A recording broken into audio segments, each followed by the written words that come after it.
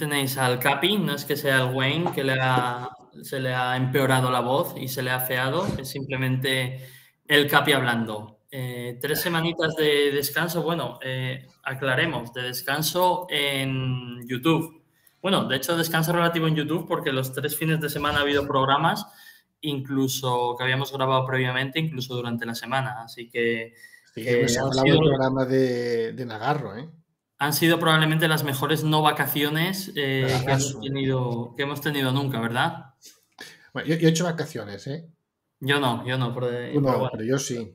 De, hecho, yo, he trabajado más en las no vacaciones, yo creo que el mes anterior, pero, pero bueno, son, cosas, cosas que pasan. Eh, bueno, tenemos a Ciprés, ya lo habéis escuchado, y tenemos al bueno de José, desde Argentina. ¿Qué tal estás? ¿Qué tal, Capi? ¿Todo bien? Todo bien, por suerte. ¿Cómo van los pibes? Bien, los pibes bien. Ah, todo tranquilo, por suerte. ¿Jugó Chacarita ya? ¿Juega hoy? Jugó, sigue primero. ¿Y qué tal? Bien, bien. No, venimos bien quedan siete fechas, venimos primero. Y si sale primero, juega una final para ascender a primera. Así que el otro día fue, con. ¿es, Atlanta o Atalanta los que tenéis de Atlanta, no, no, Atlanta, Atlanta, sí, son hijos. hijos Siguen de hijos, ¿eh? Sí, sí, sí, les llevamos como 20 partidos en el historial. Le ganamos en su cancha, gol en el último minuto.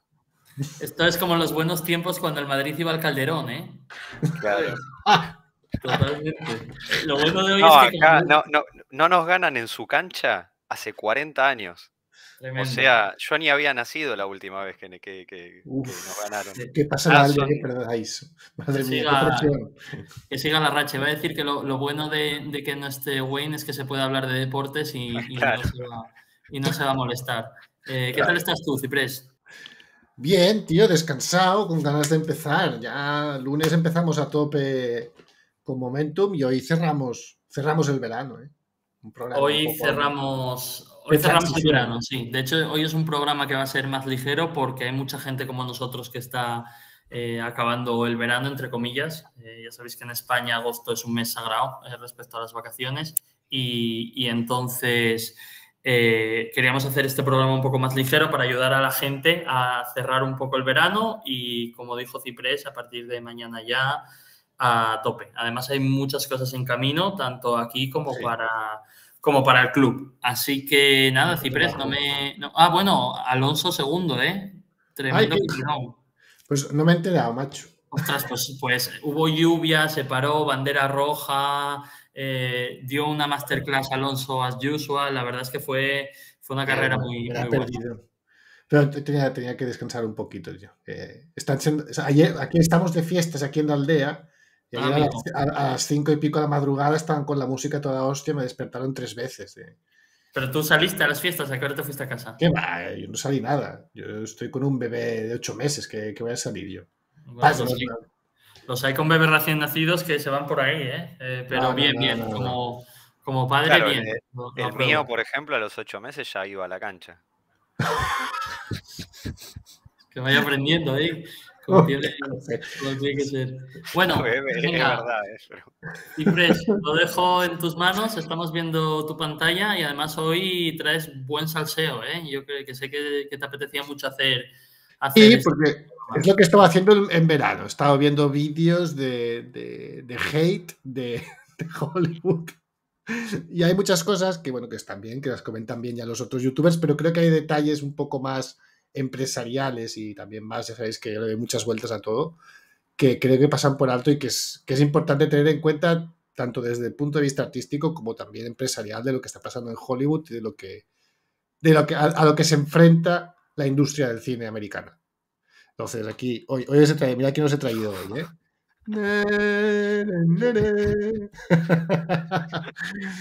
Pues eso, venga, momento Calígula porque Calígula es un emperador mítico porque está zumbado, em, pero no, aún no es la época de la decadencia, sino que es eh, al año 40 después de Cristo, digamos que es el primer aviso de los problemas que pueden venir si pones un emperador zumbado, ¿no? Además es muy mediático. Y creo que Hollywood viene de una época dorada, creo que el nacimiento del streaming, eh, el momento cumbre de los superhéroes y demás ha sido una época dorada para Hollywood, se gana muchísimo dinero. Pero, bueno, pues eso ha traído unas consecuencias y, vamos, a, vamos a ver qué, está pasando y, si se puede arreglar o, si se los va a llevar por delante. Vamos a empezar entonces. Básicamente vamos a hablar de, franquicias hoy, porque hay que hablar de franquicias porque son el buque insignia de Hollywood, son los pozos de petróleo del cine, ¿no? Y muchas de ellas están dando señales de agotamiento, otras directamente las han, han saltado por los aires y otras ah, incluso han caído antes ya casi de nacer. Entonces, hay un, hay un, percal importante. De hecho, en, YouTube y por todo Internet encontraréis toneladas y toneladas de vídeos de hate de todo tipo. Eh, o sea, tanto a los productores como a los guionistas, como a la forma en la que se han ejecutado las, las, nuevas franquicias trayendo, que vienen de libros. Rings of Power de Amazon ha sido un desastre. Eh, The Witcher empezó siendo para Netflix un, un boom bombazo y se la han cargado en tres temporadas, la han destruido. Luego veremos cómo ha evolucionado, por ejemplo, el seguimiento de, visualizaciones de Rings of Power y podemos contrastar un poco con lo que fue, por ejemplo, eh, Juego de Tronos, ¿no? que era lo que quería emular el bueno de el bueno de Jeff Bezos, que se ha quedado con las ganas. Por cierto, parece que, ha tomado cartas en el asunto un poco tarde, Jeff. ¿eh? Te has gastado mil millones en una serie, podrías haber, te lo podrías haber movido el culo un poco antes. Pero bueno, parece que empieza a apretar, al menos está apretando a, sus productores para ver qué cojones pasa, porque están gastando fortunas en, productos que luego no ve ni Cristo, ¿no? Bueno, mm. que sí que los ve, pero muy por debajo de lo que debería ser, teniendo en cuenta los presupuestos y teniendo en cuenta la competencia y la lucha que hay, que eso es uno de los principales temas que, que tiene el sector en este momento, ¿no? Venga. Vamos a ver. Hay un primer punto que a mí me, está llamando muchísimo, muchísimo la atención. Y es una, falta de profesionalismo brutal. Es decir, cuando tú eres una actriz o un actor eh, y hablas en nombre de tu película, hablas en nombre de tu franquicia, se entiende. O sea, los jugadores de fútbol, por ejemplo, nunca dicen nada, ¿no? O sea, siempre dicen, no hay enemigo pequeño, tenemos que ir partido a partido. Eso nos lo sabemos. Que vale. no, van a criticar al mismo equipo, al propio. Claro, ¿no? Y, dices, mira, no voy a decir nada si no me meto en líos, ¿sabes? Quedo bien, digo lo que sé que hay que decir para quedar bien y a tomar por culo, ¿vale? A ver, mira, al menos, oye, no metes la pata. No vas a decir cosas como la gente del Madrid son subnormales o la gente del Barça. Claro, no, porque, porque si haces eso, pues eh, explota la cabeza. Imagínate si haces encima eres del Real Madrid pues, pues, pues está pasando, ¿vale? O sea, en las hay actrices de Hollywood, hay miembros de guionistas, eh, productores que están atacando a los seguidores. O sea, cuando sacas un producto, a la gente no le gusta, la gente te critica y entonces tú lo que haces es insultar al consumidor del producto. ¿Sabes? Eso de el cliente siempre tiene la razón, pues esta nueva generación de Hollywood no, no tiene nada claro eso por algún motivo, bueno, por algún motivo no, por este tipo, por esta sociedad que tenemos montada hoy y la educación que tenemos montada hoy, que hace que la gente se crea, no sé, se crea que tienen derecho a decir y a hacer lo que les dé la gana porque como son guays pueden hacerlo. Bueno, total, por ejemplo, aquí está, esta es muy crack, ¿eh? la Rachel Zegler la está liando pardísima, es la, actriz que han seleccionado para hacer de Blancanieves. Y entre otras cosas, pues ha dicho que, el príncipe de Blancanieves es un acosador y que no tiene por qué centrarse en la película en él porque al final es un acosador y tal.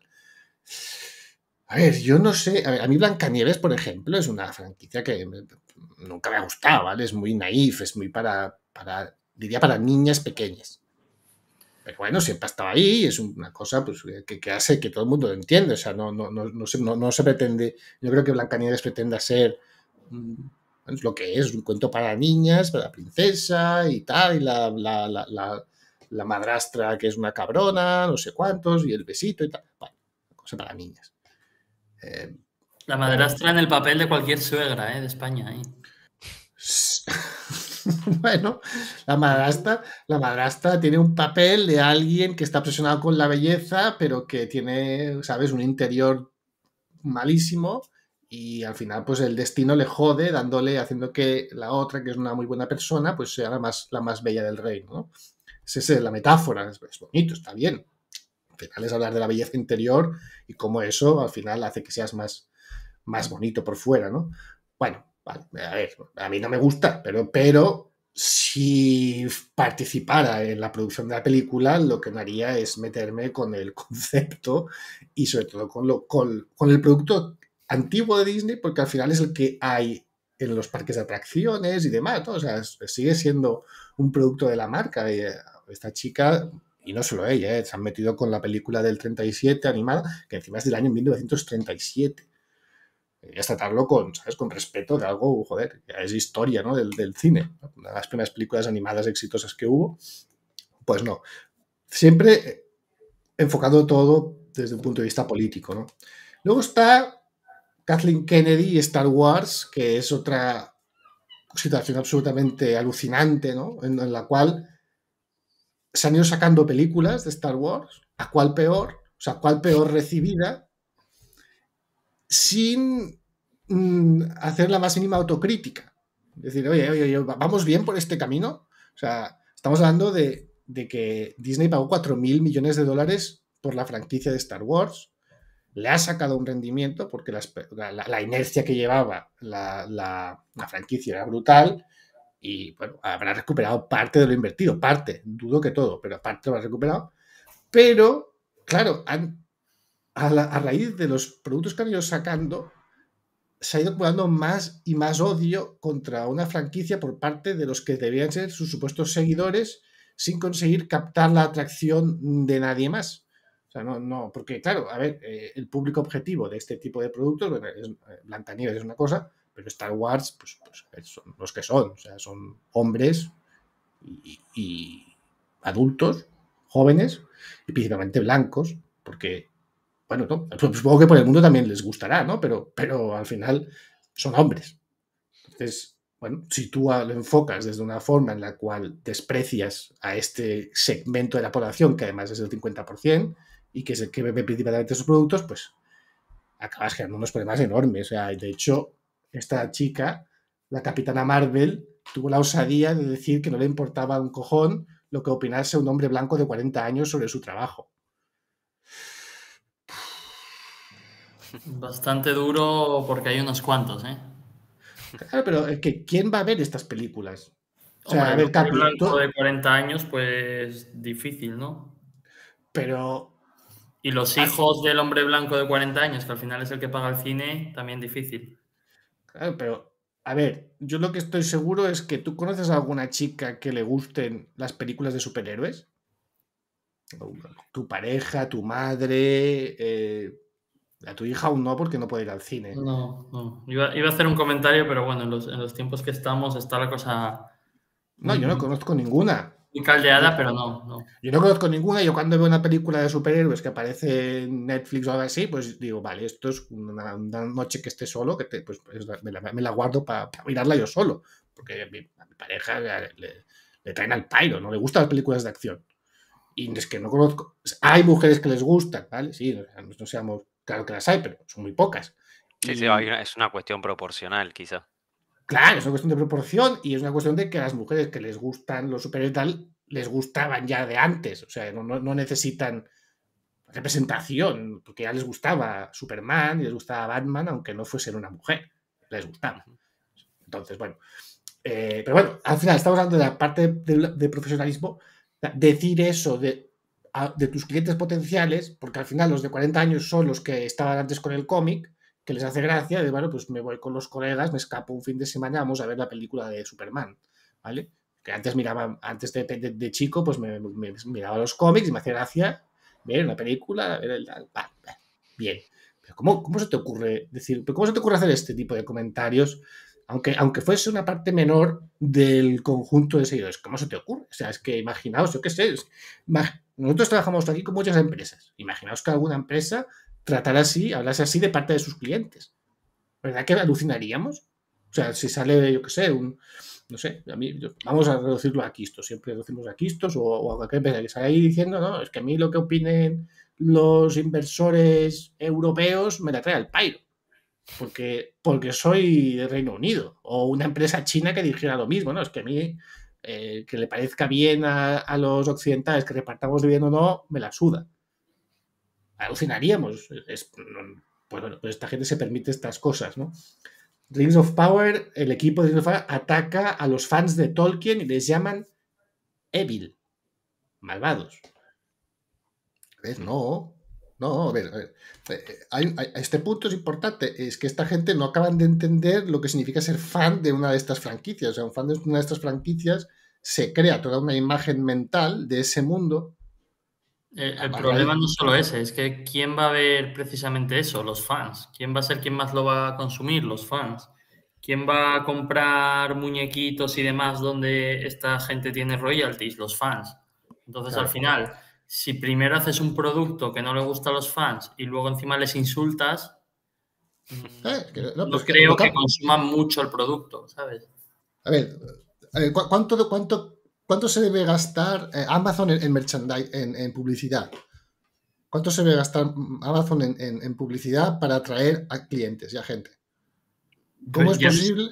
ya no es solo eso. Amazon se gastó, es que no recuerdo cuánto, pero se gastó una barbaridad en los derechos del Señor de los Anillos. Pero fue una auténtica barbaridad la, serie costó mil millones. No sé cuántos No, no, una cosa es lo que cueste la serie. Digo, comprar los derechos para hacer la serie. claro, antes de hacer la serie tenés que comprar los derechos.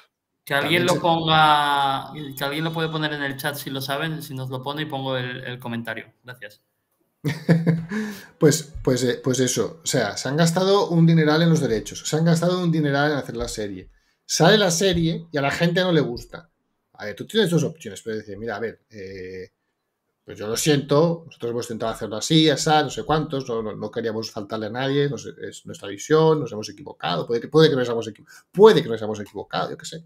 Ser humilde, ¿no? Lo que es lo que tiene que hacer alguien que está vendiendo algo con sus clientes.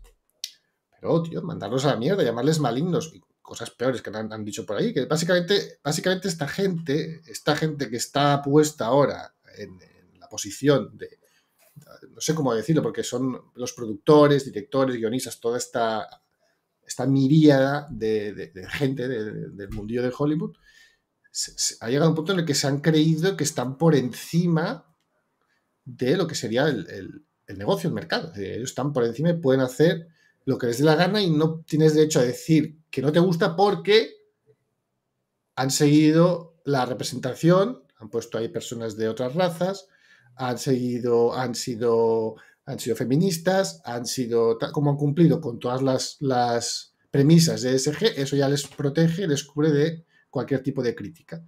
Eh, no va así. Porque a la gente no, no le importa eso. Literalmente es que no les importa a, nadie. O sea, le importa. Eh, hay un grupo de gente reducido que se cree que eso importa a la gente. A la gente, la gente de acá no le importa. Que pone y a casa, se aburre, que pone una serie que le entretenga. Ya está, no pide nada más. No, es un tema político ni no político. Es que, entonces, que tú le digas, no, es que hemos puesto aquí gente de muchas razas distintas, pues a mí que me importa. Si yo lo que quiero es ver un superhéroe o una serie fantástica. Bueno, ahí, vemos el dato, perdona que te interrumpa Ciprés. No, eh, interrumpe todo. Mario González, gracias por ponerlo, dice que pagaron 250 millones solo por los derechos del Hobbit. Madre de Dios.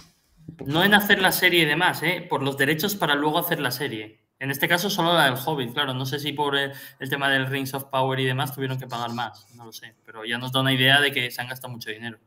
Sí, sí, muchísimo dinero y no, no están, no, van, no, lo han justificado ni, remotamente. Entonces, lo que, estamos, lo que está pasando es, es algo muy peligroso para el sector porque, como hemos dicho antes, estas franquicias son cash cows. O sea, estos son máquinas de generar dinero. Esto si haces bien las cosas, puedes estar 10 eh, años sacando productos que van a tener muy buena aceptación porque a la gente le gusta ese, ese mundo le gusta el mundo de Star Wars, eso está demostrado. Por tanto, si no abusas demasiado, vas sacando productos buenos, puedes estar una década sacando películas de un spin-off, no sé cuántos. Entonces, destruir una franquicia hasta el punto de que se acumulen horas y horas y horas de hate, de desprecio, de conseguir que la gente que le gustaba eso ya ni siquiera lo mira solo por joderte. O sea, ni siquiera mira lo nuevo que vas a sacar para asegurarse de no darte vista, de no darte views, de no darte dinero, de no, de que tu producto no reciba, no tenga, eh, no tenga ningún tipo de éxito mercantil, a ver si te vas a tomar por culo. Cuando has llegado a este punto, es momento de decir, oye, paremos. Ah, sé que habrá gente que no esté leyendo que dirá, no, es que toda esta industria eh, le da igual los beneficios porque lo que buscan es hacer propaganda. Eh, pues sí, puede ser, pero porque, a ver, hay un grupo hay una parte de sus accionistas que puede ser que no les importe, porque el dinero que no gana Netflix lo ganan en, YouTube, en Google, ¿vale? Los dos grandes eh, fondos de BlackRock y demás, puede haber sí, pero también hay fondos más pequeños y accionistas particulares que sí que les importa porque quieren recibir un dividendo, quieren ver a su acción subir. Entonces, eh, hasta cierto punto sí, pero al final las cosas se están complicando tanto que veremos si van a poder seguir haciendo lo que han venido haciendo hasta ahora. Eh, hay casos, o sea, el caso Willow, por ejemplo. Willow se han gastado también un dineral, es una película de los años 90, 80, mágica, la han sacado ahora para chavales, ha sido un fracaso brutal y ha sido tan brutal que ya la han sacado del streaming para no tener que pagar royalties. Han, han tenido que sacar el streaming de Disney. Con, con ahora, veréis, es, Blancanieves también la que se está liando. The Witcher ha sufrido una, bajada de, visualizaciones en, esta última temporada demencial. Indiana Jones ha sido una catástrofe de recaudación, ahora lo veremos. Marvel empieza a sacar películas que no, cumplen, que dan pérdidas y que apenas, ganan dinero. The Wheel of Time es una franquicia de, de cine de ciencia ficción de Amazon, se gastaron un dineral y ha sido otro fracaso. Es decir, eh, hay un problema muy, hay un problema estructural en el cual la gente que está gestionando todas estas franquicias, que son eh, mundos eh, ciencia ficción, odian en general la ciencia ficción y a sus seguidores. básicamente, en, resumen, cayendo de lo, que hablan y lo que proponen, te das cuenta de que el problema es que es que odian tanto el uno como el otro. De hecho, en The Witcher hay rumores de eso, de que los guionistas se reían de material original. sí, al final por hacer una especie de símil, ¿no? Lo que sería con política, es como si un partido muy a la derecha empieza a tratar de camelar a los votantes de bastante a la izquierda, ¿no? Lo normal es que no lo consiga y a la vez desgaste su electorado por la derecha. O al contrario, un partido muy de izquierdas que empiece a tratar de, de robar esos votantes de muy a la derecha. Lo normal es que no, no le vayan a votar y puede perder muchos de los suyos. Esto es un poco lo mismo, ¿no? Ellos tenían una base de clientes que son los que esperan ávidos que salga la nueva de Indiana Jones, la nueva de Star Wars y demás, y han tratado de buscar un perfil de cliente nuevo, no tan metido en esas películas, que consideraba esas películas, no sé, pues igual demasiado mm. violentas o el mensaje que daban o lo que sea, y la realidad es que no han conseguido meter a esos nuevos clientes han hecho es que con sus fans de toda Y el problema de esto es que igual sale una de Indiana Jones y, vas y te decepcionas, pero luego a la siguiente ya no vas. Que ese es el problema con el... No, claro, claro. Sabes que la primera te la comes y luego cuando te has comido la primera eh, estás muy decepcionado, encima te insultan y luego sale una segunda y sabes o te informas de que va a ser más o menos como la primera, pues ya no vas. Pero además para mí hay dos fenómenos que al menos hablo de lo, de lo que me pasa a mí en la vida cotidiana. Uno que teniendo a mano YouTube y pudiendo ver tantas cosas que uno elige, es como, a ver, entre, entre ver un video de Momentum y mirar Indiana Jones, la verdad que prefiero ver un video de Momentum. O sea, yo no veo ninguno, pero. No, vos ya sos un, caso, vos sos un caso especial que no, mirás nada, pero. tampoco, eh, tampoco veo las películas estas en general, o sea, si te consuelas. No, es que... no yo muy pocas, algunas, muy pocas miro, pero me parece eso, como que hoy hay tanto, hay tanto material tanto, tanto material para mirar que uno puede hasta elegir puntualmente qué ver y capaz que a mí me pasa que muchas de estas cosas no, no, ni las miro. Totalmente, José. A ver, eh, cuando está, cuando digo que Hollywood está en una situación muy complicada, es por esto. Es decir, a ver, hace cuando empezamos con Momentum, ya no me gustaba nada este sector. No me gusta nada porque considero que la gente que lo lleva pues son todos una pandilla de cocainómanos y degenerados en general, ¿vale? O sea, no, no me interesa eh, poner mis ahorros en manos de este tipo de gente. Yo quiero gente trabajadora que va a, su, va a, hacer, va, va, va a, hacer sus pozos, a limpiar sus escaleras y a hacer su trabajo y que son gente normal, ¿vale? O sea, creo que es un punto bastante básico. No confiar en gente que, que en fin, que todos sabemos lo que pasa en ese mundillo, ¿no? Pero es que además la competencia a la que se enfrentan es brutal, porque ya no es YouTube. José, eh, YouTube es de viejos. Sí. Sí, son los videojuegos. y YouTube, es de puretas. YouTube es de puretas. YouTube es de puretas, es la realidad. Ya es de copa de brandy y, es... y habano. ¿eh? Pero además sumale, sumale, a la competencia feroz que ya tienen entre ellos, que después lo ves en los resultados financieros y toda la competencia por conseguir los, los actores. A mí me pasa también que vos me decís, vamos a ver tal película. Yo antes, es lo mismo que lo a donde, cuando, cuando vas a comer afuera. Yo me fijo antes en internet y, me fijo alguna crítica. Si yo, el otro día, acá fuimos a comer una parrilla. Buscamos, yo busqué más o menos seis parrillas por, por donde estoy yo y por Capital. Y había algunos que eran, las críticas eran tremendas. Yo dije, no voy, no voy ni loco. O sea, si te están diciendo que es horrible, hasta que encontramos una que todos decían que era espectacular, fuimos y era espectacular. Y acá lo mismo. Yo ya leí dos noticias, dos comentarios de que Indiana Jones es pésima, no la voy a ir a ver. Entonces ahí es como que circula la información tan rápido que si haces un producto malo es, es, es irremontable. Claro, y a ver, primero, la competencia. Segundo, que esta competencia no, es solo YouTube. YouTube es, una, es grave, es muy grave, pero es que vienen los chavales jóvenes están que si Instagram, que si WhatsApp, TikTok, están pendientes de estas cosas. No tienen, o sea, hay, el tiempo es finito. Lo digo, siempre digo, cuando la gente nos está viendo a nosotros, en lugar de ver eh, una peli de Antena 3, esto es gravísimo para Antena 3, porque nosotros, oye, el, coste de este programa es ridículo de, hecho, este en concreto pues tiene un coste cero, porque ya tenemos todo amortizado. Entonces, eh, tú para poner la peli en 3 tienes que pagar unos royalties, tienes que poner, en fin, tienes que pagar un montón de cosas. no, se puede competir. Pero es que los chavales jóvenes ni siquiera miran YouTube, apenas. tienen, tienen la cabeza tan ocupada con tantas cosas, con el WhatsApp, con el tal, tal, tal, el TikTok, todo esto, que es que ya ni, eso. Entonces, Hollywood sí que tenía un papel y era un papel de decir, vale, pues vamos a ser el, nodo creador de contenido que llene las redes, ¿no? Porque claro, a ver, como has visto, hay un montón de vídeos criticando. Si las películas fuesen buenas y tal, estarían hablando bien y desarrollando las tramas y preguntándose y cuál y qué pasa la próxima temporada y no sé cuántos, ¿vale?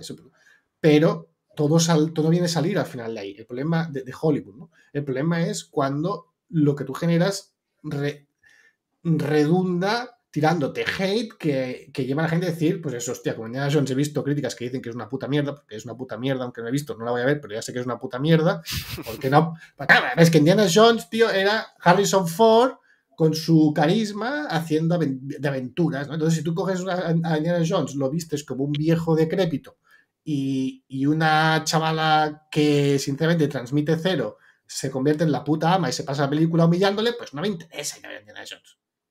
Porque es el contrario de lo que quiero ver. O sea, yo quiero ver a Indiana Jones como el puto amo, con su carisma y sus bromas y sus cosas, tío. Eso era, eso lo que voy a Indiana Jones, no pintarlo como un viejo acabado, amargado, que, que no hacen más que humillarle. No, no, me interesa. Entonces, eh, vamos a ver, porque claro, yo creo que, yo creo que Blancanieves puede ser un punto y final de esta etapa y marcar un cambio definitivo, porque creo que la cosa ha llegado a un nivel muy extremo, ¿vale? A ver si. Esto, a ver, estos son los nuevos siete enanitos. Como podéis ver, solo hay un enanito. Los demás ya son, no sé, no sé, no, sé cuál es el criterio. Les han llamado criaturas mágicas. Es Blancanieves. Bueno, y esta es Blancanieves. Claro, Blancanieves es, es muy redundante, ¿no? Blanca nieve, que es blanca también. Pues bueno, pues una chica de ascendencia colombiana. ¿Vale? Representation. Han querido representar, o sea, esto representa que las chicas colombianas, como han puesto una chica colombiana, se van a identificar más que con la anterior Blancanieves que ya se identificaban antes. No tiene ningún sentido, pero bueno. Esto es una cosa que en una reunión de PowerPoint puedes justificar muy bien, ¿no? Este es un problema importante. Es decir, ellos se sientan en sus reuniones de PowerPoint y sacan argumentos como estos y es una mesa, pues se puede justificar. Pero el arte es muy complicado. O sea, hacer cosas que lleguen a la gente es muy difícil. Es muy, muy difícil. Tienes que ser bastante trastorno obsesivo compulsivo, con detalles. Pequeños detalles cambian todo. Esto, estos siete nanitos, esto es un insulto a la inteligencia. Esto, no, no, esto lleva, esto lleva, esta foto significa... ¿La peli cuándo, sale? En 2024. Pero no, no son tan ¿Qué? No, sí, es que no sé. ¿Bajos o no son bajos? Son aquí tienes un enano, esto, aquí tienes un, este es un enano. Pero el resto como que poco, ¿no? Son criaturas mágicas. Es, es ah, Blancanieves morena con las siete criaturas mágicas. No son los siete enanitos. O, igual no se puede decir enanos si hay que decir eh, personas de baja estatura, ¿no? No lo sé. Pero no son enanos. No son enanos y, supongo, a ver, tenéis aquí varios colores, ¿no? vamos a poner, vamos a poner, vamos a poner el puntero, color del lápiz. O sea, aquí hay una, representación, ¿eh? Porque ves, aquí tienes color eh, marrón, supongo que esto representa a los latinos o hindúes, han puesto a, dos africanos. Pero a ver si les da. Eh, el de atrás parece un poco. Me recuerda un poco a Jesús, tipo de Jerusalén, ¿no? El más alto. Sí, y, entonces, como hay tres, hay tres blancos, yo creo que alguno tiene que ser homosexual o bisexual.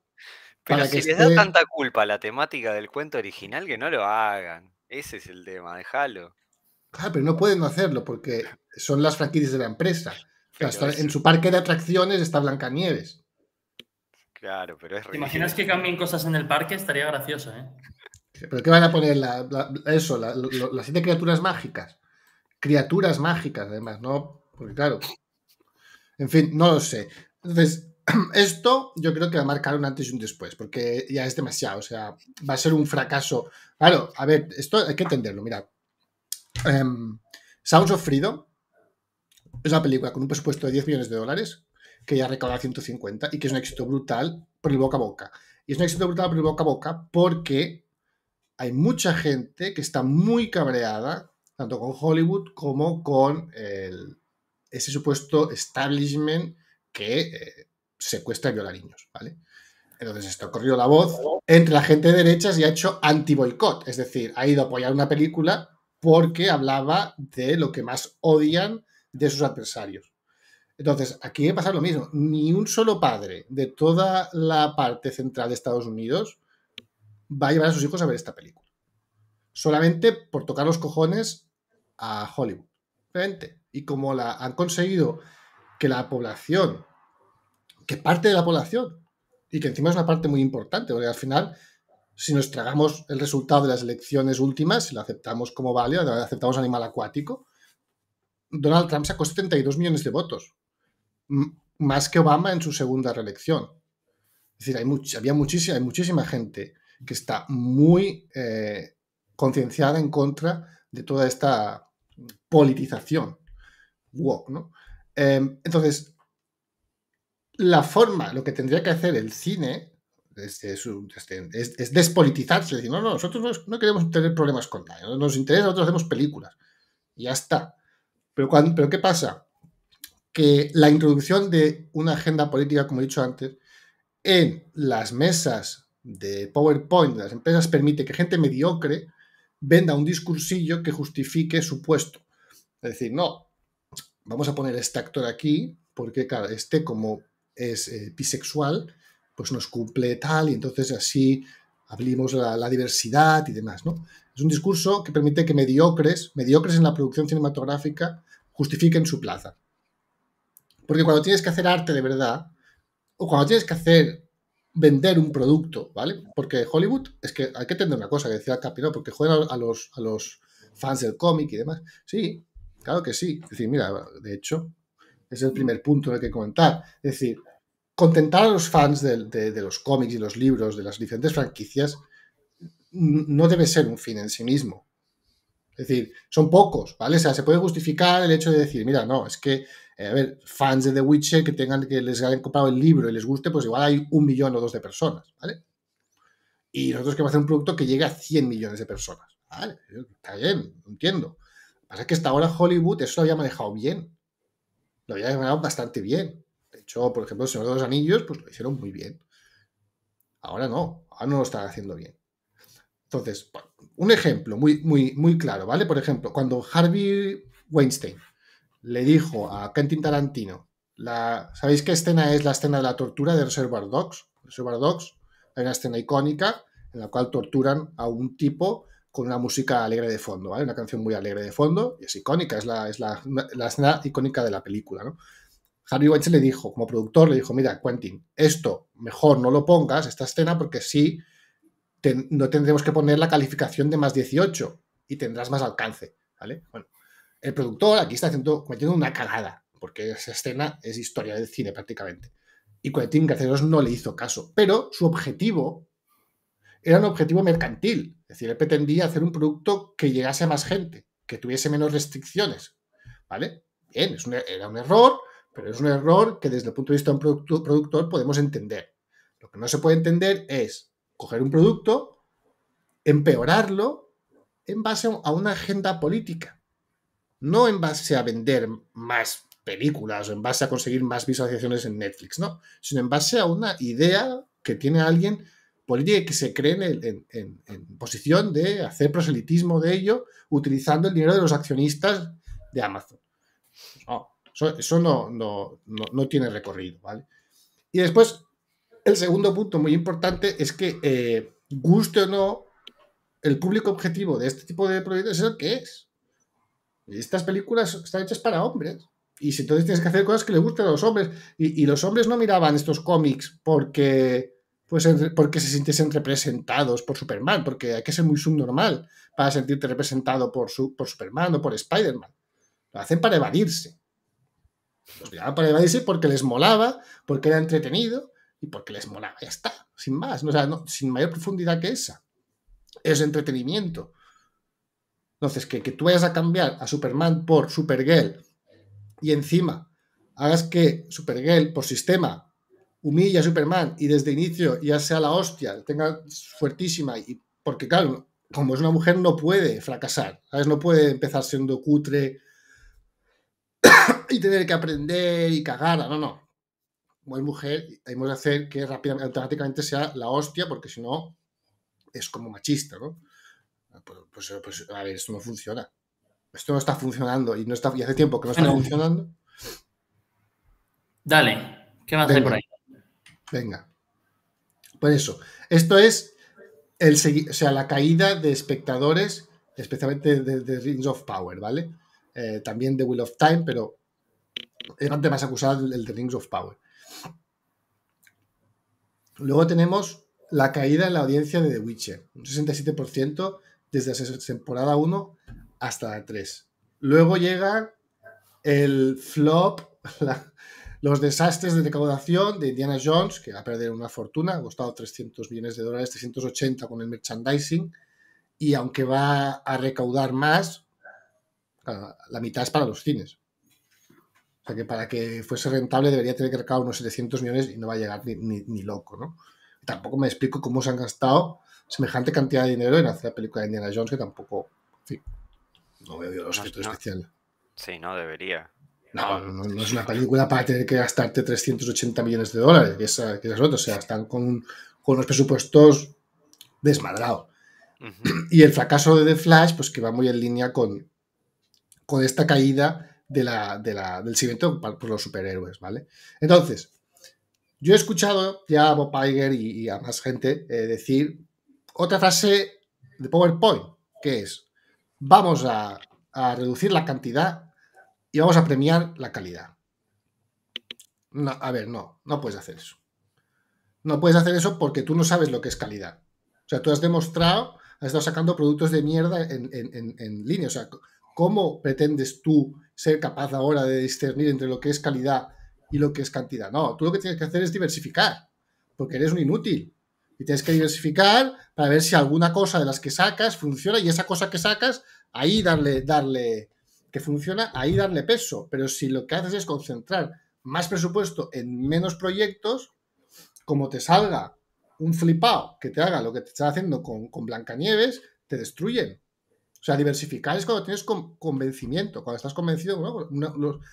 los inversores tenemos muy claro, cuando tienes mucha convicción en un grupo pequeño de acciones, pues puedes concentrar. Y diversificar es una forma de reducir el riesgo. Y Hollywood necesita reducir el riesgo porque no está en estos momentos, no tiene la plantilla para saber qué productos van a ser un éxito y cuáles no, porque están sacando eh, supuestos blockbusters que se están estampando. Entonces, si, si lo que haces es reducir aún más la cantidad de producto que ofreces, por ejemplo, en streaming, la gente se va a, marchar de tu streaming. Sea, tú en el streaming en general falta, falta producto. Que dice, no, porque hay muchos es una basura. Si Netflix se ha repetido un montón y es el único que está aguantando el callo. Pero es que si tú te haces, te suscribes a algo y ves dos películas y una serie, después te, te marchas. no te vas a quedar. Si te quedas es porque hay muchísima oferta y, bueno, malo será que no encuentre algo que me termine gustando. Y sobre todo eso, que cuando tú has estado fracasando estrepitosamente durante los últimos dos o tres años, tienes que, tienes que decir, no, no, vamos a diversificar, vamos a sacar productos baratos, pero que sean muchos y a ver cuáles gustan y esos que gusten, pues les damos más peso en el futuro, hacemos secuelas y demás. Pero mientras tanto, macho, vete con cuidado, que, que tú estás en condición de concentrar, que no paras de cagarla. O sea, lo que vas a hacer es, multiplicar la cagada. ¿Vale? Eso, eso es otro punto súper importante. Entonces, y para terminar con el tercer punto, eh, tenemos la huelga de, guionistas y la huelga de actores. ¿eh? Los actores y los guionistas se han puesto en huelga, justificadamente, a mi modo de ver, es decir, les quieren sustituir con el uso de inteligencia artificial y además les pagan, les pagan real. Lo que pasa es que, claro, si tú vas a un punto donde empiezas a hacer películas, digamos, eh, predecibles, claro, es mucho más fácil que la inteligencia artificial se ponga a hacer esos guiones, porque es darle una serie de instrucciones, ¿sabes? Exactamente. Respecto al tipo de guion, y yo creo que eso es mucho más fácil de copiar que crear algo que estás creando porque crees que es increíble. No porque te dicen, oye, necesito una película de este estilo, donde salgan este tipo de cosas y demás, ¿sabes? Entonces, eh, yo creo que eh, ese tipo de guiones están mucho más en riesgo respecto a la inteligencia artificial que los otros, sinceramente. Totalmente, Capi. Cuando haces un pacto con el diablo y ese pacto los guionistas han hecho escribiendo mierda los últimos cinco o incluso diez años, en general, a veces hay algunas excepciones bien, pero en general han estado produciendo mierda, em, luego lo pagas. Y eso estaba produciendo mierda durante todo este tiempo. Si hubieses sacado productos de calidad, guiones de calidad, guiones sorprendentes, guiones que llaman la atención, guiones que llegan a la gente, pues los estudios lo pensarían dos veces antes de sustituirte por una inteligencia artificial. Pero como no es el caso y lo que tú estás haciendo lo puede hacer cualquiera, y justamente lo estás haciendo tú porque lo puede hacer cualquiera, porque si no, no estarías ahí, te habrían despedido. Pues ese es el tema, es que no, el problema es que tienen que cumplir con determinada cultura o el problema es que no tienen talento. A ver, es que se han juntado las dos cosas. Primero, gracias, gracias a estas franquicias, gente sin talento pudo desempeñar el trabajo de vista porque da igual. Es decir, al final, eh, la superestrella es Hulk o la superestrella es Batman, no, el actor que hace de Batman, es Batman. Entonces, mm, el actor es, es el actor y el guionista y el guion, el, guion lo tienes hecho si está en los cómics, o sea, si está en los libros, o sea, solo tienes que coger un trozo que encaje un poco con lo que quiere hacer el director y ya está. Pero es que además tampoco es tampoco. Entonces, durante estos años, Hollywood ha estado sufriendo una degradación importante en su. O sea, ya, nunca fue tampoco la gran cosa, pero ha sufrido una degradación importante. Y encima ahora, en parte para tapar esa, esa caída en la calidad de su producto, están utilizando eh, todo el, background este político para encubrirse, para utilizarlo como defensa. Es decir, pongo, pongo a una actriz de color a hacer un papel que normalmente hubiese sido para una actriz blanca y así si me atacan ya tengo la excusa de que esto es, eh, es porque eres un racista, ¿sabes? Es un escudo protector. Lo mismo pasa con los actores. A ver, lo de los actores a mí me, ha encantado, es decir, lo que pretenden las, la, parte de las empresas de Hollywood es, vienes un día a trabajar, te meto en una, en una, una especie de, cápsula, de máquina, donde voy a digitalizarte, ¿sabes? Voy a tomarte todos los rasgos físicos y tal. A ti te pago un día de trabajo, pero me quedo tu versión digital para hacer con ella lo que me dé la gana en el futuro. O sea, viene mm, eso, mm, Kevin Costner o un actor famoso de la época, le grabas una vez y ya no le pagas más, porque ya utilizará su versión digitalizada pasada por inteligencia artificial para hacer su papel y te ahorras una, millonada. Claro, a ver, eh, no sé, vale.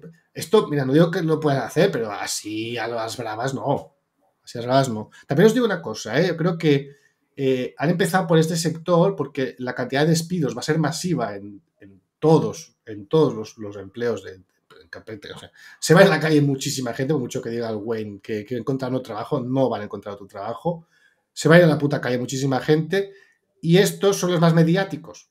Entonces es bueno empezar por estos porque si empiezan antes a despedir a 200.000 empleados de oficina, perdón, 20 millones de empleados de oficina, cuando llega el turno de los actores y los guionistas, se forma ahí, ¿sabes? La gente que se ha quedado ya en el palo se, sumaría a, las manifestaciones y a las revueltas y se mantendría un caos importante. Entonces empiezan por este sector que es muy mediático para ya hacerlos pasar por, el, por la criba de lo que será la, legado de la inteligencia artificial.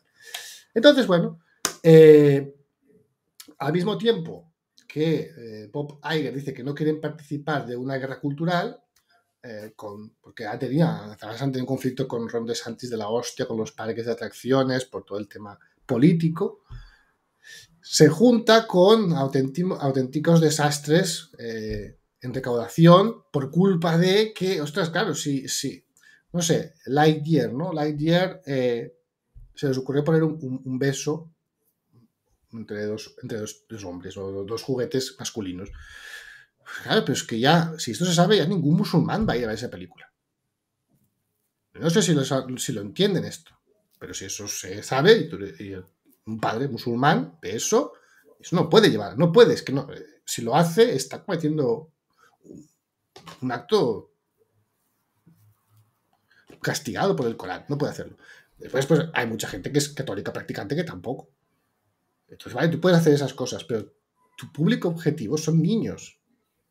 Y los que van a, los que deciden si van niños son sus padres. Y entonces, ¿qué, gente tiene más hijos? ¿Y qué gente va, a llevar a sus... ¿Va, a llevar progres solteros de Nueva York? ¿O hay más padres de familia numerosa de Kansas o de Alabama que, que son los que van a llevar a los niños al cine? Sí, yo creo que está claro el, el tema. Entonces,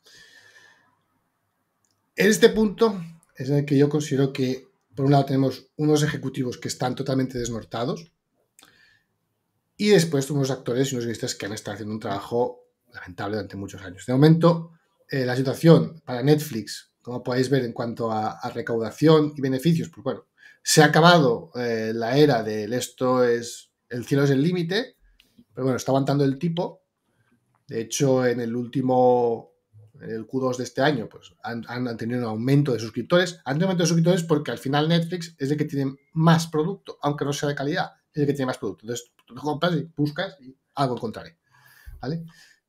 Disney es otra cosa. Disney está muy lejos de las mejores recaudaciones de esta época. muy, muy por debajo. De hecho, aquí en este, este trimestre aquí fue horrible, por ejemplo. Pero el gran problema está aquí. Estos son los el número de suscriptores de Disney Plus. Claro, la, gente que se, que se apuntó a Disney Plus en gran medida por esas, era por esas franquicias. Y si estás sacando productos relacionados con Star Wars que les molestan, no es que no les gusten, no, es que les molestan, les ofenden, pues la gente se marcha. Y además tienes poco, ofreces pocos, poco, poca variedad de producto que es muy difícil. El streaming parece, parecía que iba a ser aquí la, la, la de los huevos de oro, pero generar contenido suficiente para tener a los clientes satisfechos pagándote X euros al mes no es nada fácil. Netflix se ha, ha conseguido crear una estructura gigantesca y está dando el callo, pero para los que empiezan más tarde y para los que están constreñidos, porque Netflix puede emitir cosas de, emite cosas de muchísimos Mm, eh, más allá de lo que generan ellos, publican cosas de los demás. Pero si te constriñes demasiado en cosas solo de Disney, por ejemplo, o solo de Amazon, eh, además no es el caso, eh, que Prime también tiene mucha variedad, bueno, pues esto, esto va a tener muy malas consecuencias, sobre todo porque la gente que se apunta a un Disney Plus es porque ver esas franquicias que tú estás destrozando. Entonces, conclusiones. Voy a ir rápido que, que si no nos hagamos demasiado. Primera, años de producir mierda han causado estragos en la calidad del personal que produce series y películas, ¿vale? O sea, esto es un punto que es muy clave, ¿no? Ya no es un tema político, sino que el, de fondo la calidad de los, de los empleados en general es muy baja. El público objetivo para las franquicias más importantes es odiado por los cineastas de Hollywood. bueno, pues parece que al hombre blanco se le puede insultar, faltar al respeto, despreciar, no pasa nada. con, con, cualquier otra sección poblacional no se puede, pero con eso sí. Pero es que coincide que para todas estas franquicias que eran éxitos garantizados, que era una, una gallina de huevos de oro para Hollywood, pues la mayoría de, de, clientes pues son los que son más loyales, son hombres, y muchos, la mayoría blancos. Entonces, pues bueno, pues podéis seguir por este camino, pero vais a acabar mal. La competencia es feroz, como ha dicho José, y encima tenemos tipos de interés elevados, con lo cual el endeudamiento y los recursos en general van a ser cada vez más escasos. Además, la competencia no para de subir y además ya no es una competencia de producto visual, sino que es de producto pues, de, tiempo, de consumo de tiempo, es que no, a la gente no le queda tiempo para ver películas, ¿vale? Exacto. No le queda tiempo para ver películas, hay muchísimas cosas que hacer. La incompetencia. claro, José, no tiene, José a veces no tiene tiempo de nada. la incompetencia en las directivas es palpable y manifiesta. No puede ser que tengas que, que llegues a emitir tres películas de Star Wars, a cual peor, para, aún sigue ahí, aún sigue en el cargo Kathleen Kennedy, a pesar de que tiene toneladas y toneladas de vídeos de hate directamente contra... O sea, imaginaos, por favor, ella es la representante de Lucasfilm, ¿vale? Es la persona al mando de Lucasfilm dentro de Disney.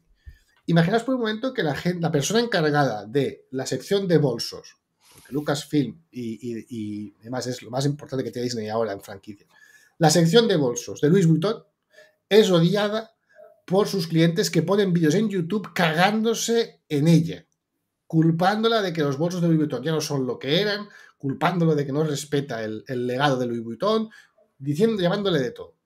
¿Qué pasaría con esa persona a cargo de la sección de bolsos? La despedirían automáticamente. Eso es normal, es que tú a la puta calle. Pues no, ahí sigue. Parece que igual la despiden pronto, pero bueno, ahí sigue. De momento han tenido que hacer la cagada de Indiana Jones para que igual se lo planteen. Bueno, veremos. La guerra cultural deja una situación imposible a los creadores de contenido. Es decir, claro, ahora tú, muy bien, tú has tomado partido. ¿eh? Todas, las, todas estas compañías se han situado del lado wow. Muy bien, pero ahora puedes salir de ahí. O sea, ahora puedes empezar a hacer productos que estén más encaminados a ganar dinero en lugar de hacer proselitismo político sin que aquellos a los que has estado lamiendo el culete no te machaquen ahora, lo mismo que te han machacado los otros mientras tanto. No, se han puesto en una situación complicadísima por haberse salido de lo que tenían que hacer, que era arte. Vosotros van a hacer cine, a mí no me venga con tonterías, yo no quiero saber nada, yo estoy bien, yo amo a todo el mundo. Venga, voy a hacer mis películas y que gusten a la gente, ya está. Ahora veremos cómo se sale de ahí. La mentalidad, la forma de trabajar y la gestión de recursos es inaceptable. No es posible gastar 300 millones de, 300 millones de dólares en una película y que sea un fracaso. O sea, no, a ver, y que, y, no es que sea una solo, sino que ya viene pasando con otras tantas. Son presupuestos gigantescos que eso es algo que va a acabarse. Los grandes presupuestos de Hollywood van a, se van a ver muy reducidos y se van a ver muy reducidos en número porque no compensa eh, arriesgar tantísimo dinero cuando no tienes la garantía de que eso va a funcionar. Y estos productos, parece, lo bueno que. Parece un poco el tema de los clubes de fútbol, ¿no? Que gastan millones en figuras que después no sabes si van a, rendir. Para claro, después te quedan libres. Claro, mira, pues eh, de hecho hay rumores de que igual vuelven a revender Star Wars. O sea, ahora la han cogido, han gastado una pasta, han arruinado la franquicia, ahora igual la vuelven a revender a su anterior propietario, George Lucas, hay ese rumor ahora, que supongo que la, comprará por 10 veces menos de lo, que, de lo que recibió o algo así. Así que sí, sería caso parecido a los jugadores de fútbol. Por eso mismo, tienes que estar muy, muy, muy seguro para gastarte una fortuna en un jugador, porque si no te sale más a cuenta comprarte tres más baratitos. Casi si alguno te funciona bien, pues mira, oye, todo eso que tienes. Y finalmente, en mi opinión, porque ha habido declaraciones de guionistas y de productores diciendo que ellos están adaptando los guiones y la, producción de las películas a la situación actual con el objetivo de alterar la percepción de la realidad de la gente. Es decir, que, sea, que, que, nos parezca normal ver a Julio César negro. ¿no? Eso lo hizo Netflix, creo. Cosas así. Vale, eh, esto, esto es proselitismo de una agenda política. no tiene como fin ganar dinero para los accionistas. Y esto es un delito. O sea, tú no puedes coger dinero de una empresa y fundirte como a ti te dé la gana. En lo que a ti te dé la gana. tienes que coger dinero de una empresa para generar beneficios. Y cuando antepones otras cosas, como es este caso, en mi opinión, esto debería acabarse con denuncias. Porque no puede ser que por anteponer tu ideología destruyas la, la, el, el, Joder, ¿cómo se llama ahora? Las franquicias, pero que son, ¿cómo se les llama en el. Las IPs. Las IP, no, el balance. En el balance eh, intangibles. Los intangibles, eso. Los intangibles del balance de Disney, no, no puedes hacer eso. No puedes poner eso en peligro porque tú tengas una cierta mentalidad o lo que a te pase por la cabeza, que no nos importa. Tú tienes que dedicarte a ganar dinero. Y si dices, no, mira, nos hemos peleado con el director porque nosotros queríamos hacerlo así, porque pensábamos que así llegaría más público. eso es una discusión en la que podemos entrar y que es comprensible y, no nadie por qué ser perfecto, se pueden cometer errores. O sea, cuando tu objetivo es el que tenía el bueno de Harvey Weinstein en su momento, antes de ser un conocido por un depredador, sexual, cuando era un productor, pues, pues, vale, pues es un error que puedes cometer, yo lo entiendo. Ahora, lo otro no, ¿eh? O sea, por, poner, poner un actor que no es el mejor posible por una agenda política, sea cual sea, me da igual cual sea, eso, eso no, no, es aceptable. A mí eso debería acabar en denuncias. Pero bueno. En fin, Capi, yo lo siento, si me ha alargado demasiado, pero... Un poquito, pero bueno, no pasa nada. eh... Es marca de la casa, ya lo sabes. Sí, está, está perfecto. Eh, muchas gracias por, esto y antes de pasar a mi parte, a ver si lo puedo poner bien. ¡Pum! A ver, ahí lo tienes. Todo el mundo aquí que ha estado esta hora escuchando la masterclass de Ciprés, que se suscriban, un like, poner comentarios, todo es bienvenido y todo nos ayuda. Así que, se, agradece, se agradece mucho y ahora vamos a pasar a mi parte, que es básicamente esto, la presentación de Peloton. ¿Vale? Entonces, puedes, Ciprés, ya quitar tu pantalla, ya te lo apago de ahí. Y vamos a empezar con, con Peloton. Eh, lo puse como resultados de abril-junio, que es el Q2 tradicional que estamos acostumbrados, porque ellos usan otro tipo de, creo que es su Q4 o algo así, ¿vale? Pero entonces, para entendernos, son los resultados entre abril y junio. Y antes de empezar la, presentación, el renuncio de responsabilidad. Recuerden que todo el contenido, tanto de esta presentación como de todo el programa y el resto de programación que hacemos en Momentum, no debe ser tomado como consejo de inversión. Todo el contenido que sacamos no debe ser interpretado como recomendación de comprar o vender ningún tipo de activo financiero o participar en ninguna actividad de trading o estrategia de inversión. Así que tengan en cuenta el del vídeo y hagan su propio análisis, ¿vale? Igual que hacemos nosotros, básicamente. Bueno, voy a ir a machete. O sea, esto va a ser, eh, lo tuyo fue una hora, esto yo creo que en 15 minutos lo liquido. Pero veamos, eh, antes de empezar, ¿qué es lo que había pasado con Peloton? Eh, para que la gente se ponga un poco en situación, ¿vale? El problema que había tenido Peloton era fundamentalmente que durante el COVID empezaron a crecer en ingresos de una forma absolutamente brutal. La gente estaba en casa, no tenía nada mejor que hacer con el dinero que estaba recibiendo y no podía irse de cenitas y demás. Entonces decían, comprarse una bici con un iPad eh, por 800 pavos está bastante bien y es lo, que, es lo que hacían y tenían unos ingresos bestiales. Como cualquier empresa mal gestionada, lo que hicieron fue, en vez de ser previsores pensando, ahora tenemos unos ingresos por una anomalía como es el COVID, otras empresas tuvieron una falta de ingresos y no darse cuenta de que llegaría un punto en el que eso se acabaría, lo que empezaron a hacer es tener unos costes fijos que eran absolutamente eh, delirantes. Yo no encuentro, no encuentro realmente otra palabra para, para explicarlo, ¿vale? Entonces, eh, ¿qué pasó? Que el COVID pasó, los ingresos dejaron de subir, la historia de growth dejó de existir ya no era esa empresa que te iba a crecer al año un 40, 50% y cosas así, ya no tenían un TAM que poco más iban a comer el universo y, entonces tocaba eh, ajustarse el cinturón. ¿Cuál es el problema? Que para ajustarte el cinturón tienes que gastar dinero tienes que despedir gente, tienes que llegar a contratos que, tienes que acabar y tienes que pagar penalizaciones, tienes que hacer muchas cosas, ¿vale? Te vas de ciertos locales y también tienes que pagar penalizaciones y demás. Entonces, eh, tuvieron que llamar a McKinsey simplemente para decir aquí hay que recortar todo un 70% los costes que ya me podían haber contratado a mí, ¿sabes? Para decirles lo mismo, les hubiese cobrado solo la mitad y, y entonces se pusieron a recortar y recortar Eh, ¿Qué pasa con eso? Que los números empezaron a parecer algo mejores. ¿Por qué? Porque pasaron de quemar mucha caja a quemar menos caja. ¿Vale? Entonces, luego se creó la historia, porque claro, obviamente estas empresas cuando no generan dinero, siempre tiene que haber una historia que sostenga eh, la parte que está larga, ¿vale? La parte que invierte para que suba. Eh, entonces se creó la historia de decir, no, ahora no hace falta que crezca tanto porque con esta bajada tan brutal de los costes, mira cómo están bajando trimestre a trimestre, esto va a entrar en beneficio, ¿vale?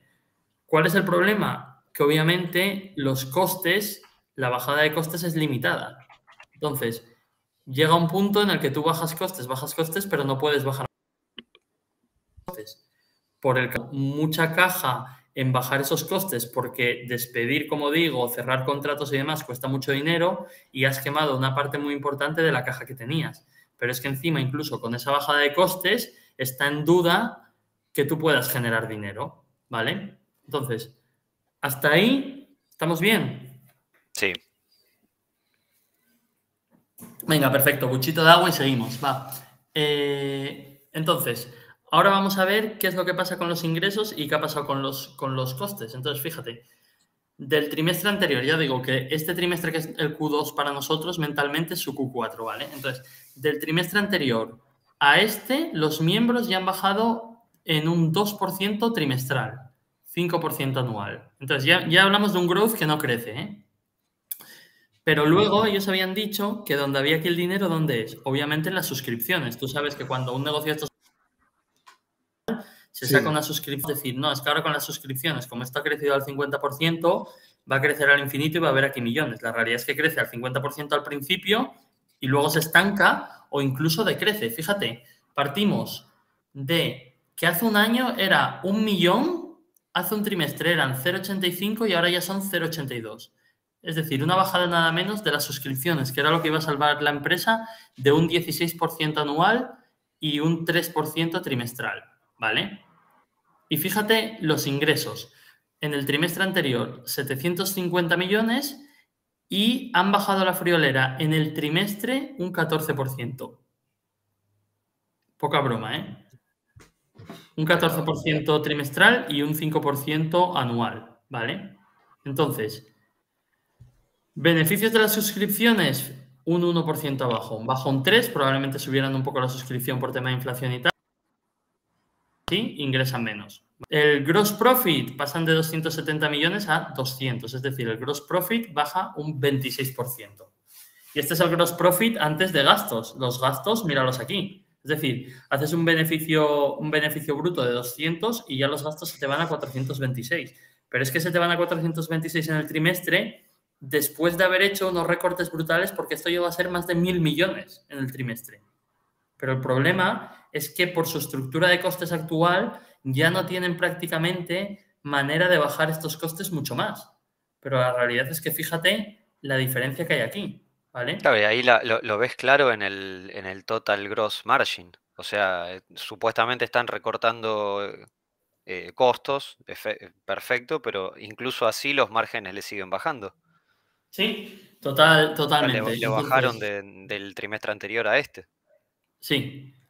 Entonces, gastos operativos ya lo veis ahí, un 20% que han bajado del trimestre anterior a este, pero como os digo, a mí me da la sensación que esto pueden bajar un 15, un 20% más, quizás sí, pero es que el problema es que sigue sin dar.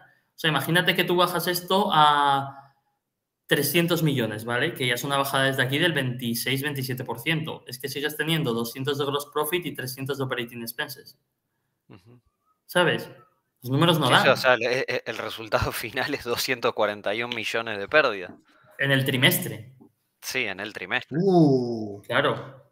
Y fíjate que dice la parte del net cash usado, es decir, quemaron 55 millones en este trimestre, ¿vale? Y de free cash flow. Ahí debe, debe, haber algo de. Bueno, habrá algo de. No, porque están las SBCs también. Claro, que están las Stock Based Compensation. Exacto. Entonces, seguimos aquí en detalle la parte del revenue, ¿vale? Como os digo, eh, revenue el año pasado, este trimestre, se baja. Vale, el cost revenue te baja de 700 a 400. Sí, muy bien.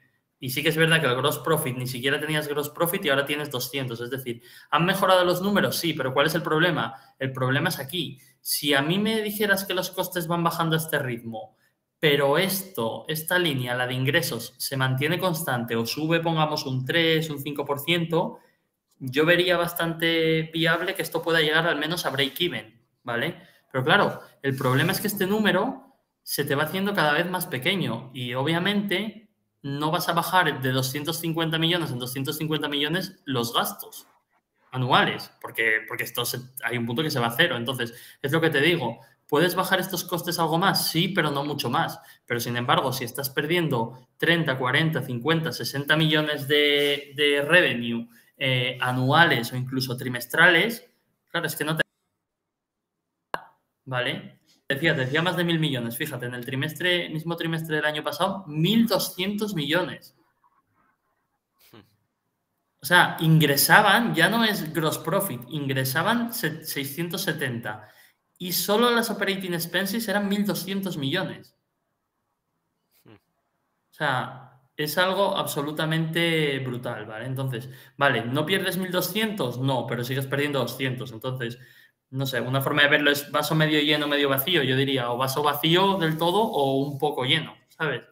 porque no veo otra forma, otra forma de verlo. Y luego, fíjate, obviamente es una empresa con deuda financiera y fíjate cómo les sube el daño que les va haciendo. ¿eh? De 16 les sube a 27 y sí que es verdad que la caja, obviamente como pueden invertir, digamos, pues imagino que en tema de bonos del tesoro y cosas así líquidas que están dando bastantes rentabilidades, sí que te sube de 1 a 8 millones. Pero la realidad, bueno, quitas esto la realidad es que estás, los intereses son otros 16, 17, 20 millones que tienes que restar, ¿vale? Entonces al final llegas a perder estos 240 millones en el trimestre. Y luego, claro, aquí el riesgo cuál es? El riesgo es quedarte sin caja y que te quedes sin caja y tengas que hacer una, una ampliación de capital, ¿vale?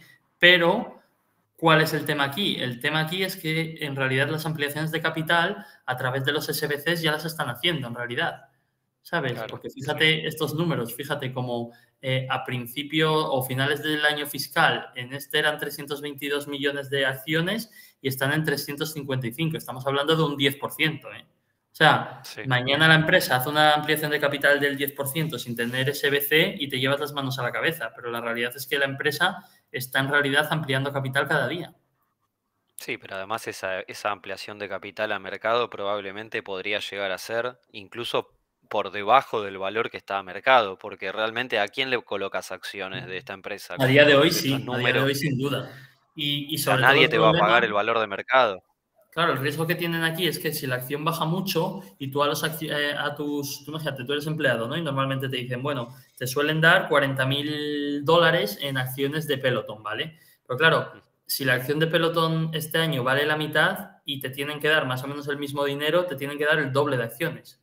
Entonces, cuanto más deprimida esté la acción en estas empresas, el SBC es algo que es muy cabrón en ese sentido, porque te hace sí, mucho más. Cuando, cuando las cosas salen mal es donde más ves el efecto negativo de ese, de ese tipo claro, de Claro, el SBC está muy bien, eh, digamos, con empresas que están valoradas a múltiplos muy altos, porque te supone una forma de dar mucho dinero a tus empleados con una dilución baja.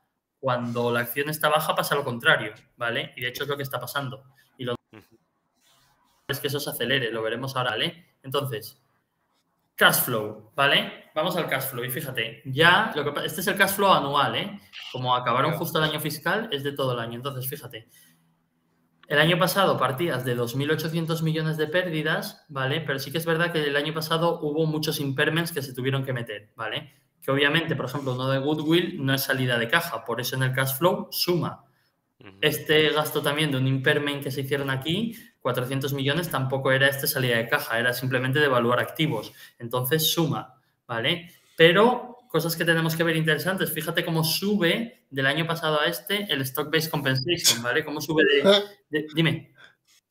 No, no. No, no, digo que, que, hace esta gente. Ah, eh, ¿qué hace gastar dinero, eh, que se les da, se les da muy bien. Y fíjate, de hecho, en dos años, eh, mira, mira, sería, aquí sería se interesante ver cuál es el motivo para que haya aumentado el... El, el doble, desde 2021 a 2023. Claro, pero es que ha aumentado el, doble porque la acción ha bajado más del 50%, es lo que os explico. La acción en 2021, pero eso es en, pero ahí es en, pero eso es en monto. Vos decís, que. Eh, ¿por, qué, aumenta el monto en. en claro, ese, es el monto, no, no, tienes razón, tienes razón. No, no es la cantidad de acciones. Claro, claro, no, es el monto. Probablemente porque de aquí a aquí quizás el número de empleados, digamos que aquí llegaron y es cuando empezaron a contratar a lo loco. Y ahora quizás, no sé si de cara a retener a los, a los empleados o lo que sea, les están dando incluso más dinero. O, tenían un, o tenían, si lograban perder menos de 500 millones, le repartían más acciones. Sí, igual era un premio de decir, bueno, no hemos perdido tanto, no estamos tan mal. Exacto. Y, pero, pero eso, 400 millones aquí y fíjate, el cash flow pasan, es que el año pasado quemaron 2.000 millones, pero es que fíjate, incluso en 2020 del COVID, quemaron, estaban imprimiendo dinero, quemaban dinero, ¿sabes? Pasa el COVID, les llega la resaca, tienen una estructura de costes absolutamente eh, eh, loca, se calzan 2.000 millones de pérdidas, incluso este año, cuando han hecho ya todos los recortes habidos y por haber, se calzan 400 millones de pérdidas a pesar de otros 400 millones de stock-based compensation. Y no olvidemos este dato que a mí me parece importantísimo, lo podemos luego ver en balance, que se han metido una cifra positiva nada menos de 500 millones en los inventarios. Es decir, eh, bicis que estaban ya fabricadas y han dejado de fabricar porque por lo que sea tenían mucho y les ha salido aquí un impacto positivo de 530 millones y aún así se van a, una, a, un, a un cash flow operativo negativo. ¿eh? Hmm. Sí, ahí el tema es que, claro, tenés. a ver, si hay menos demanda y van a vender menos, ahí ya tienen menos inventario para vender y van a, obviamente van a tener que volver a gastar en fabricar Claro, el tema es que es lo que te digo, igual que pueden bajar los costes hasta un límite, aquí se aprovechan del inventario, pero te aprovechas hasta un límite también. Claro, exacto. Entonces, por ese lado están fastidiados. Y vamos a ir ahora a ver esta parte y fíjate el tema de los inventarios. De hecho, fíjate, se marcaron 500 y pico millones en positivo, pero es que les quedan 500 millones. Y eso obviamente los inventarios nunca van a ser cero. Entonces, el margen que tienen por ahí para que les ayude en el cash flow ya es limitadísimo, por no decir prácticamente nulo, ¿vale? Eh, fijaros el cash que pasa de 1.200 millones a 800, ¿eh? O sea, el cash va bajando claramente en un año y sí que es verdad que están cubiertos. Vemos que los activos, fíjate lo que han hecho, ¿eh? También, que esto llama mucho la atención. Mira, eh, que esto es bastante interesante de ver.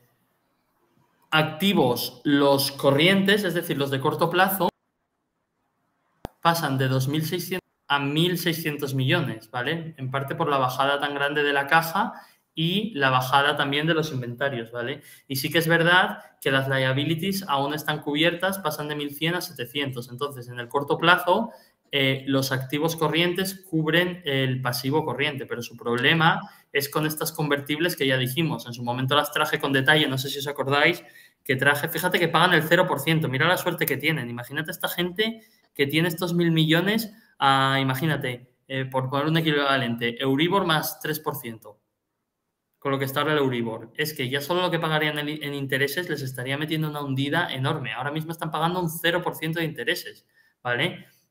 Pero claro, siguen teniendo estos 690 millones de, esta, de este préstamo, que imagino que esto ya será probablemente un préstamo bancario, donde aquí sí que están pagando eh, más intereses, ¿vale?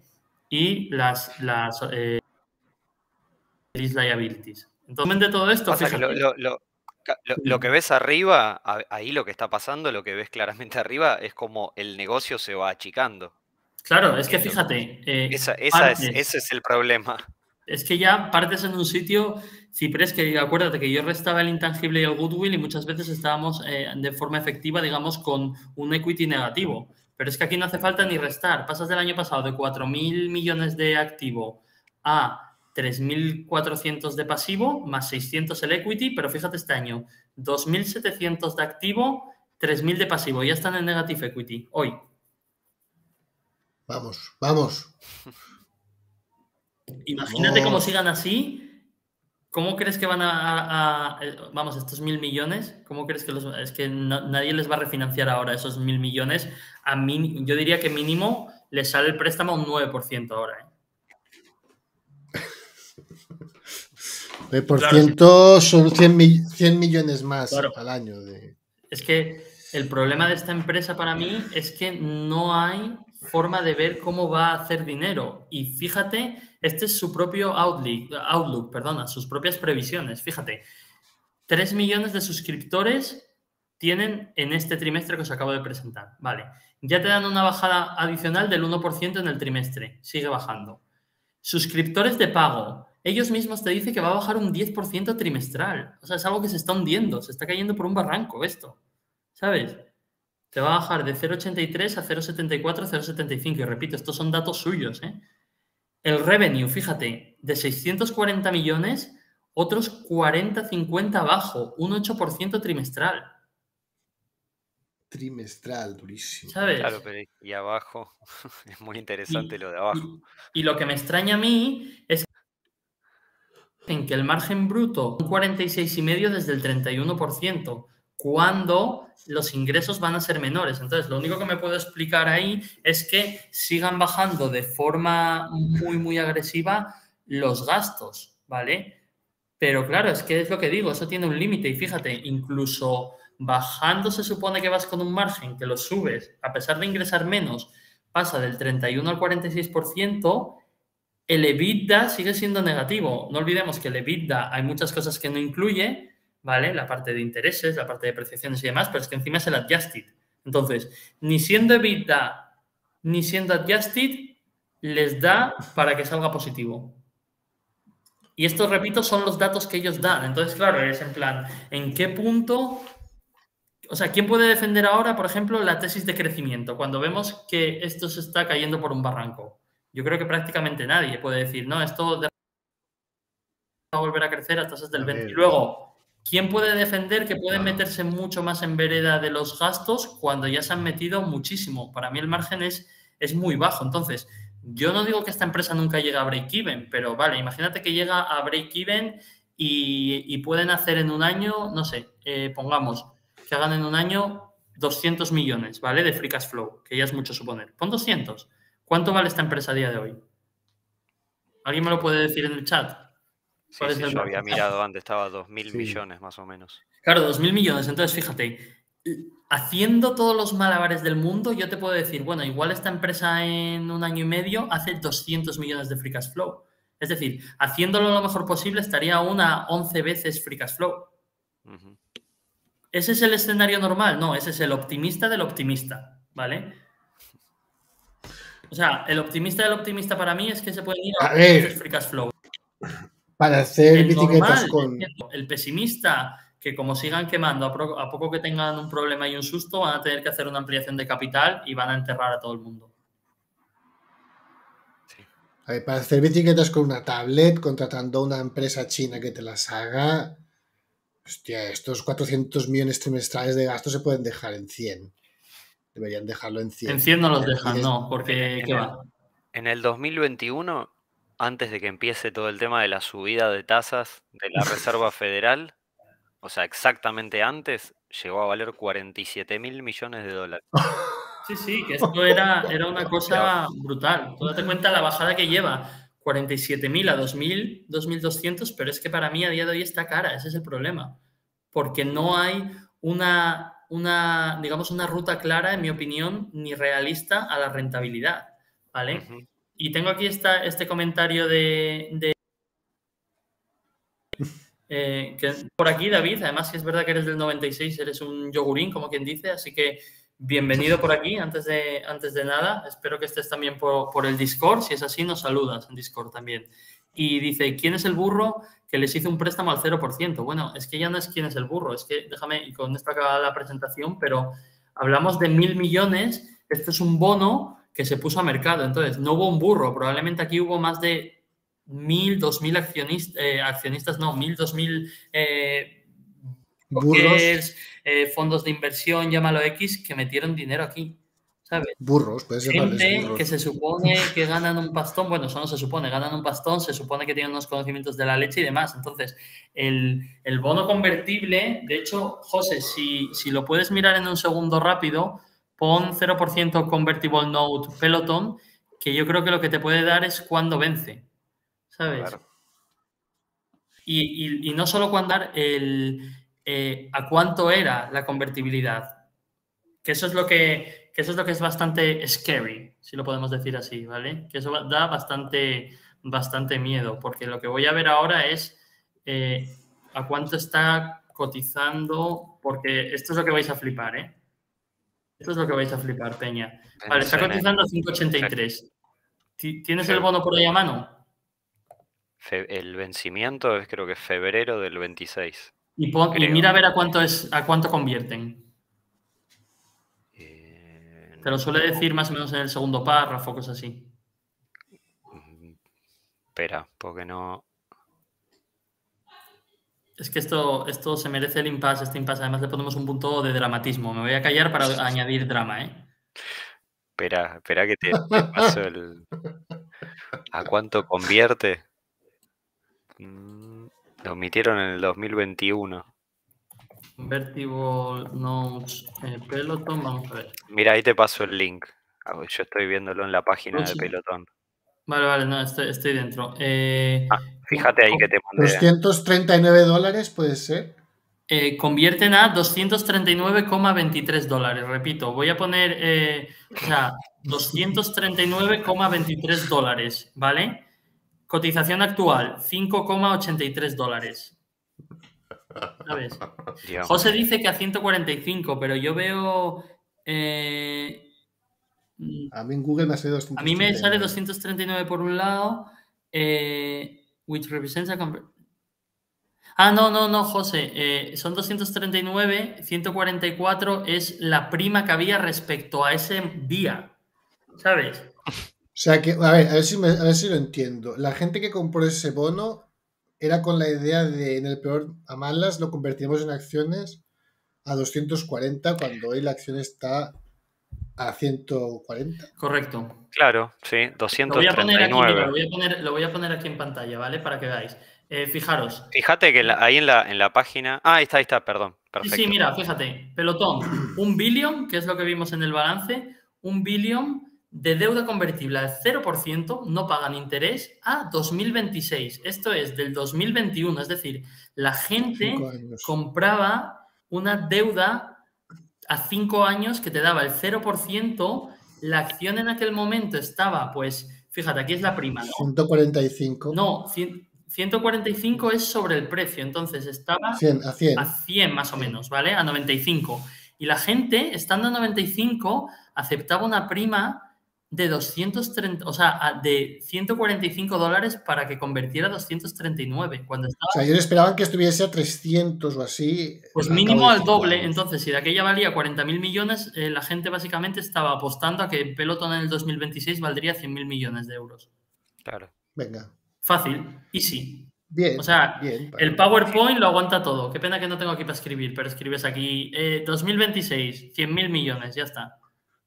Claro, pones una, pones una flechita, ya está. ¿eh? así subiendo, puedes, puedes pintar si quieres. ¿Sabes? Ah, si, si mirás el gráfico de la capitalización de mercado, bueno, de la acción, y pones del otro lado el del, el del rendimiento del bono a 10 años de Estados Unidos, es tremendo, porque es automático. Sí, sí, sí, totalmente. Se acabó, se acabó la fiesta, amigos. Sí.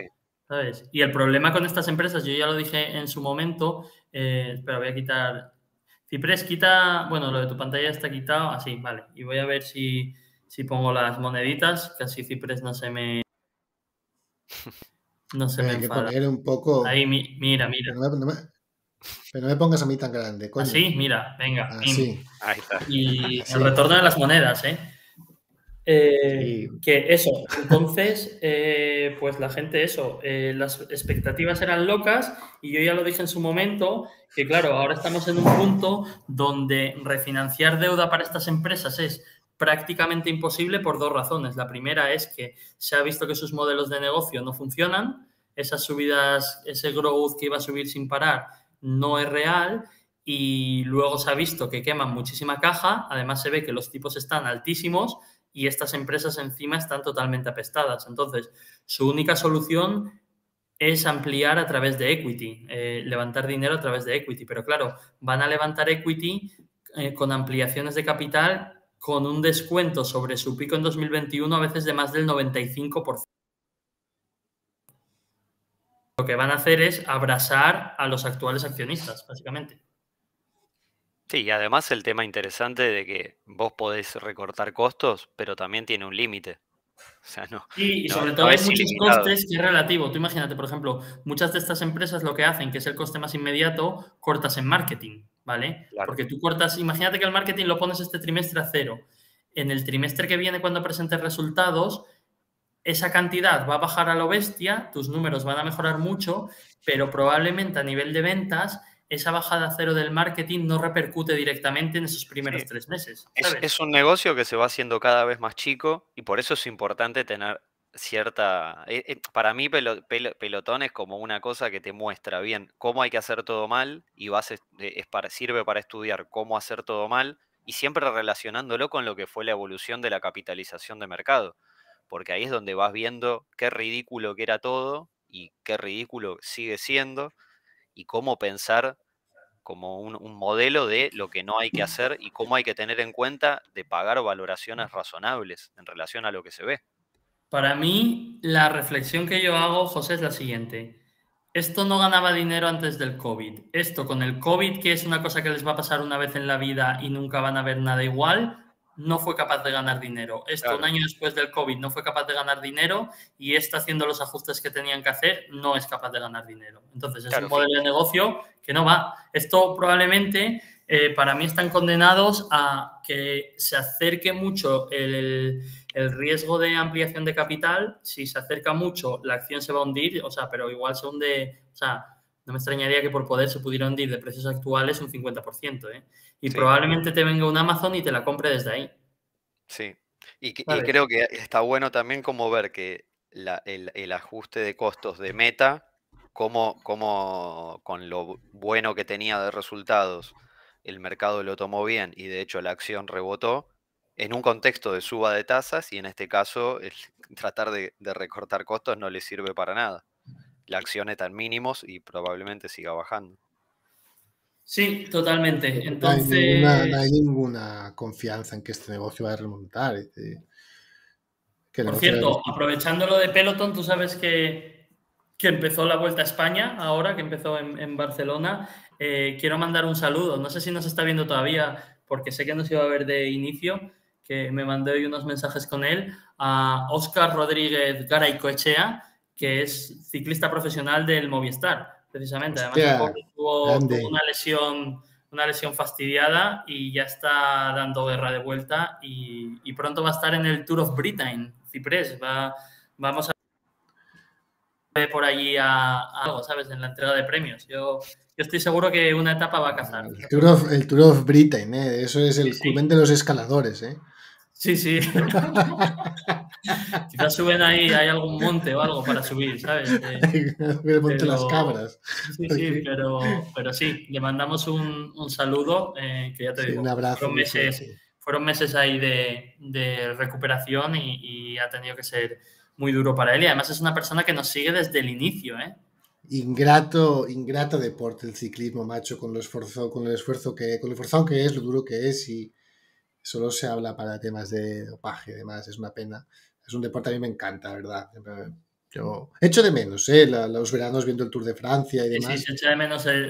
parece que está mejorando un poco, ¿eh? Sí que es verdad que ha habido en los últimos 10 años, yo diría que el ciclismo ha sido muy mediocre. ¿eh? Tú sabes que es un deporte que a mí me gusta mucho y el nivel para mí bajó mucho. Y demás, yo creo que han hecho un daño enorme porque eso era el anticiclismo. Para mí hay un punto del ciclismo que murió con contador también cuando se retiró Cancelara, Bonen, es que han, sido tiempos oscuros, pero sí que parece que ahora viene gente, la verdad es que ya no solo que... ojalá, ojalá. Los más rápidos, pero gente valiente y al ataque. Así que yo creo que con esto, si nadie tiene ninguna pregunta, nos despedimos. Empezamos hablando de fútbol, acabamos con ciclismo, se nota que no está bueno. ¿eh? Sí, mira, Capi, fíjate también la, falta de, de vista de visión de mercado de, los equipos de ciclismo, porque al final eh, están, esas, esas carreras de amarrategui que han estado haciendo durante tantos años llevan a que el espectáculo no vale una puta mierda y ahí falta un yankee. Durante muchos años se ha hecho un deporte bastante infumable. O sea, ahí falta un yankee que diga, hostia, es que el espectáculo es importante. Es que, hay que, que tú quitabas las clásicas de primavera y dos más, algún mundial que sí no y tal, y, es que hubo años muy, muy oscuros. ¿eh? Y ya te digo, ahora parece, parece que remontamos, así que nada. Con esto no veo preguntas, así que chicos, nos despedimos y ya a partir del domingo que viene, actualidad a full del señor Ciprés y seguro que también Raúl nos trae, seguro que también Raúl nos trae alguna cosita. Venga, gente, un abrazo. Ah, bueno, y espera, antes de que se me antes de que se me enfade eh, Alba, ahí lo ponemos. Muchas gracias a los que nos siguen. No duden en seguirnos, en tener, en, queremos tenerlos con nosotros. Así que si os suscribís, lo agradecemos, un like lo agradecemos, comentarios, todo. Y en nuestra descripción tenéis el enlace a Discord, que somos nada menos más que 6.000 personas allí. Así que si en algún sitio vais a encontrar información cada día, es en nuestro Discord. Tenéis un enlace en la, en la descripción.